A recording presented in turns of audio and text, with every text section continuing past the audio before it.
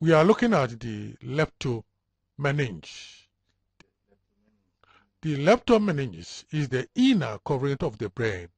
It consists of the arachnoid and pia mater.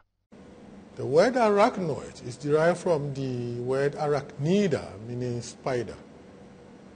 So it looks like a spider web. Then we have the pia. So that is the arachnoid. The arachnoid that look like a spider web. Then the pia is the membrane that is closely attached to the brain surface. Cannot be removed without damage to the brain covering.